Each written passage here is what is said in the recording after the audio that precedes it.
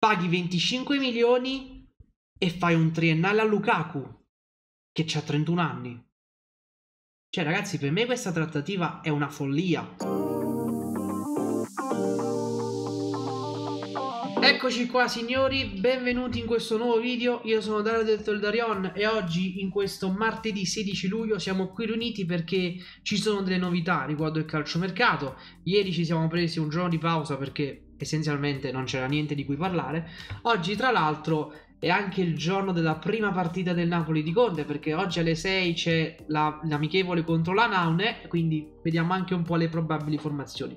Prima di parlare di tutto questo, mi, vi ricordo l'iscrizione al canale, mi raccomando ragazzi, dobbiamo adesso eh, raggiungere i 4.000, ecco, Roadot 4.000 iscritti, iscrivetevi che è gratis e attivate anche la campanella. Detto questo, ragazzi, cominciamo subito e ehm, parliamo di calciomercato. Allora, innanzitutto voglio, voglio, partire con questa notizia data da Alfredo Pedulla che riguarda la difesa e sappiamo benissimo che la difesa è un reparto da tenere d'occhio perché Mario Hermoso dicono che sia fatta, però giustamente hanno detto che bisogna prima sfoltire un po' perché adesso siamo in troppi e Pedulla praticamente ci ha detto che il giocatore che in difesa potrebbe partire è Ostigard. Eh, pare che ci siano il Genoa e il Torino su di lui, però eh, non è da escludere anche un'opzione estera. Vediamo se si concretizzerà. Diciamo che o lui o Nathan sono loro i due nomi, diciamo, principali che dovrebbero partire. Appena uno dei due partirà, io penso che poi si chiuderà definitivamente per Hermoso. Detto questo, Passiamo alla notizia quella principale, la notizia principe di questo video. Allora, ieri sera Fabrizio Romano ha dato aggiornamenti su Osimen. Vi vado a leggere il tweet. Allora, Victor Osimen rimane nella lista del Paris Saint-Germain nel caso in cui dovessero vendere un, un attaccante quest'estate. Nessuna proposta ufficiale sul tavolo, ma è uno dei nomi nella lista del Paris Saint-Germain. Intanto anche club diciamo sauditi si stanno informando su, su Osimen. Se dovesse partire Osimen, il Napoli ha intenzione di eh, andare su Lukaku. Allora, andiamo per gradi. Prima frase. Victor Osimen rimane sulla lista del Paris Saint-Germain in caso in cui dovessero vendere un attaccante. Bene, allora andiamo a vedere la rosa del Paris Saint-Germain. A livello di centravanti, il Paris Saint-Germain attualmente ha Ramos, Colomboani e poi c'è questo Musni, ma credo che non, non, sarà della prima squadra. Allora, Gonzalo Ramos e Colomboani. Ha detto Fabrizio Romano che quindi se uno di questi due dovesse essere ceduto, allora si andrà su Osimen. Quindi non è scontato, ecco, che succeda. Cioè, a oggi ho visto un pochettino, non ci sono tutte queste voci di uscite su Gonzalo Ramos e Colomboani. Quindi, diciamo che a oggi Osimen non è eh, diciamo un obiettivo prioritario perché anche loro devono sfoltire. Se dovessero essere ceduti uno di questi due, allora si andrebbe su Osimen. Quindi, prima cosa dobbiamo osservare il mercato in uscita del Paris Saint-Germain e capire se Colomani o Ramos dovessero partire. Oltre a Fabrizio Romano, anche ehm, Gianluca Di Marzio ha dato delle info su Osimen e ha aggiunto delle cose. Ha detto praticamente che gli agenti di Osimen ieri erano a Parigi e ha detto una cosa interessante, che il Paris Saint Germain avrebbe proposto tre contropartite per abbassare un po' il cartellino, diciamo il valore di, di Osimen. Chi sono tre, queste tre contropartite? Carlos Soler, Nordi Muchiele e Kang In Lee. Tra questi tre il Napoli sembra interessato solo al coreano. Allora, ragazzi, innanzitutto dal punto di vista economico, diciamo che tutti e tre sono nomi che si possono fare. Ho visto su Capology Muchiele e Kang verrebbero, diciamo, all'incirca tra i 7 e 8 milioni lordi di ingaggio. Ricordiamoci che tu vendi Osimen, quindi ti liberi di almeno 10 milioni di ingaggio e in tutto questo ti sei liberato di Zelinski che aveva un lordo bello pesante, quindi uno di questi tre li puoi prendere tranquillamente. Quindi dal punto di vista economico diciamo che non ci sono problemi. Il problema secondo me è da un punto di vista di organico, perché? Perché questi tre giocatori giocano in un ruolo dove a oggi siamo messi più che bene. Muchiele ragazzi è un esterno destro, ma all'occorrenza può fare anche il braccetto destro tu a livello di braccetto destro stai messo bene. e a livello di esterno destro c'hai, c'hai Di Lorenzo, c'hai Mazzocchi, volendo c'hai Zerbin, quindi è un ruolo dove tu non hai la priorità di prendere qualcuno. Uh, Kangin lì ragazzi per me è da prendere, è un ragazzo clamoroso perché l'ho seguito quando stava al Mallorca, è un esterno mancino, quindi giocherebbe teoricamente sotto punta di destra barra esterno destro, ha 23 anni ragazzi, è un talento puro, io lo prenderei seduta stante. Il problema però ragazzi è che lì stai messo più che bene a livello numerico. C'hai Politano, c'hai Ngonghe, c'hai Raspadori, c'hai Gaetano e c'hai Lindstrom, ne hai 5. Sono troppi, quindi qua se vuoi prendere Kangin lì, secondo me non devi liberarti solo di un giocatore, ma ne devi te ne devi togliere almeno due secondo me. Fai un upgrade secondo me interessante prendendo Kang, però anche qui devi prima sfoltire. Carlos Soler, ragazzi, io lo, lo, non lo conoscevo, diciamo, come, sono, come giocatore, sono andato un po' a studiarlo, ma proprio in maniera marginale. Sembrerebbe una mezzala destra barra esterno destro, quindi magari potrebbe essere quel giocatore che va a sostituire Zenischi, cioè quel calciatore che ti permette di giocare con un centrocampo a 3, sarebbe quella mezzala che ti, fa, che ti permette di giocare a 3, perché oggi, vedendo anche l'organico, i moduli che, che userà il Napoli, secondo me sono moduli che contengono una mediana a 2, il 4-2-3-1, 4-4-2, il 3-4-2-1. Se vuoi giocare per esempio col 4-3 o col 3-5-2, magari Carlos Soler può essere quel giocatore che ti permette di farlo. Quindi lui potrebbe magari servire perché ti può switchare dal centrocampo a 2 al centrocampo a 3. E poi ragazzi un'altra cosa da tener conto secondo me è che il Napoli storicamente non compra giocatori facendo la modalità cash più contropartite. L'unica, l'unica che mi ricordo è stata Osimen. Tolto quello non ricordo altri acquisti con contropartite, quindi sarebbe, sarebbe una cosa abbastanza anormale, diciamo, una cosa abbastanza particolare. Comunque, tra i tre, secondo me Kangin lì sarebbe il top. Bisogna vedere poi se lui è disposto, perché può essere pure che lui vuole restare a Parigi, così come gli altri due. Quindi diciamo che questa voce sulle contropartite non lo so, perché ci sono tante cose da tener conto. Torniamo su, Dimar- su, su Romano, perché adesso voglio concentrarmi sull'ultima frase, che è quella che mi terrorizza, ragazzi, lo dico, mi terrorizza. Perché? Perché Romano dice se Osimen lascia allora il Napoli andrà su Lukaku, detto proprio in maniera sintetica. E la cosa mi terrorizza perché sono uscite le cifre. Romelu Lukaku è vicino al Napoli.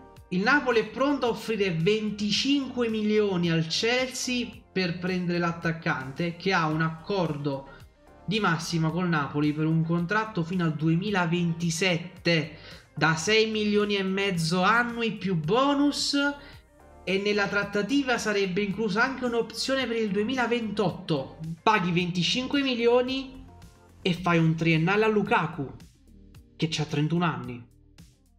Cioè ragazzi, per me questa trattativa è una follia, ma una follia in negativo. Cioè tu vai, ti vai a prendere un 31enne, un 31enne e gli dai un triennale più opzione per un quarto anno dandogli 6 milioni e mezzo, quindi teoricamente sarebbe il giocatore più pagato della rosa, addirittura più di Kvara. Perché Kvara dovrebbe prendere tra i 5, 5 e mezzo, 6. Cioè tu gli dai 6 e mezzo più bonus, più 25 milioni. Cioè ragazzi, Lukaku, cioè, questo non è più il Lukaku di tre anni fa quando stava all'Inter con Conte. Cioè ragazzi, a maggio ha fatto 31 anni e nelle ultime tre stagioni, guarda adesso, adesso vediamo, allora, Lukaku arriva all'Inter nella stagione 19-20 con Conte, ok? 36 presenze, 23 gol. L'anno dopo si ripete praticamente. Nella stagione 22-23 ritorna all'Inter dopo un'annata negativa al Chelsea, 25 partite, 10 gol. E poi l'anno scorso va alla Roma, 32 presenze, 13 gol. Cioè ragazzi, Lukaku è nella sua parabola discendente. Tra l'altro ragazzi se voi andate su SofaScore e guardate il rendimento di Lukaku nella stagione che è appena finita noterete che sì ha fatto 13 gol in Serie A e 7 gol in Europa League quindi totale 20 gol che è un bottino buono. Però se guardate bene le statistiche offensive noterete che Lukaku in Serie A ha sprecato 10 grandi occasioni da rete mentre in Europa League ne ha sprecate ben 6, quindi totale Lukaku sì, ha fatto 20 gol l'anno scorso, ma ha anche sprecato 16 grandi occasioni da rete. Questo è un dato che secondo me non è da ignorare e che potrebbe significare che comunque Lukaku sotto porta i gol se li mangia. E la cosa lo conferma anche eh, la cronaca infortuni. Cioè guardate qua, ragazzi, nelle ultime tre stagioni ha avuto un sacco di infortuni, non è più affidabile dal punto di vista fisico, è un giocatore che dal punto di vista del rendimento sta calando sempre di più, è un giocatore, ripeto, che è entrato nella sua parabola discendente e tu gli dai un triennale da 6 milioni e mezzo gli spendi pure 25 milioni. Cioè, ma seriamente Conte vuole Lukaku perché l'ho avuto all'Inter? Per me, ragazzi, è una follia. Poi tutto quello che volete, si Conte e Lukaku si conoscono, quindi già Lukaku già sa cosa chiedere a Conte, tutto quello che volete. Avrei capito magari un prestito, no? Un prestito con un anno, e gli fai un diritto di riscatto, ma tu gli fai un triennale. Cioè, te lo tiri sul groppone per tre anni, con un giocatore che col passare del tempo calerà, perché calerà, di condizione, calerà di rendimento, aumenterà la predisposizione agli infortuni. Ma onestamente mi viene a dire solo ma. È una trattativa che onestamente non approvo per niente. Vi dico la verità. Poi oh, arriva 30 gol, vinciamo lo scudetto. Va bene, cioè chapeau. Però onestamente io a oggi ti dico assolutamente no. Ma poi anche una trattativa che non non è da Napoli, cioè tu sostituisci un, un giocatore come Osimen, cioè Osimen quanti anni ha? 25 anni, cioè tu sostituisci un 25enne con un 31enne. Sì, a livello economico ci vai a guadagnare perché guadagni 100, ne spendi 25, l'ingaggio da 10 passa a 6,5, ma dal punto di vista della resa sul campo secondo me ci vai a perdere. Cioè, ovvio, tu chiunque avresti preso sarebbe stato un downgrade rispetto a Osimen, ma secondo me c'era qualcuno di meglio che che era un downgrade minore rispetto a Lukaku, secondo me. Poi, ragazzi, se loro hanno deciso così, pazienza. Eh, però secondo me ragazzi questa trattativa mm, più, più no che sì, vi dico la sincera verità. Comunque, questo è quanto per quanto riguarda la parte calciomercato. Chiudiamo il video parlando un attimo della partita di oggi. Oggi alle 18 c'è Napoli a Naune, la prima amichevole. Vi ricordo che questa partita è gratis per tutti, la si potrà vedere su OneFootball e questa è la formazione che dovrebbe scendere in campo oggi. 3-4-2-1 con Caprile in porta, difesa composta da Juan Jesus, Rachman e Rafa Marin, centrocampo composto da Spinazzola, Caiust, Anghissà, Mazzocchi e davanti Lindstrom, Politano dietro a Simeone. Allora, eh, Caprile in porta ci sta perché non c'è Meret, quindi si mette Caprile. In difesa questi siamo. Attenzione ragazzi perché secondo me la butto lì. Se domani non dovesse proprio giocare Nathan potrebbe magari essere l'indizio che c'è una trattativa per lui. Non lo so, la butto lì. Perché mi sarei aspettato un Nathan eh, oggi. Invece dovrebbe giocare Juan Jesus, braccetto sinistro, Rachmani al centro con Rafa Marin, braccetto destro. A centrocampo, Spinazzola a sinistra, Mazzocchi a destra, ci sta perché non c'è Di Lorenzo. Al centro questi abbiamo, quindi Caiusta Anghissà.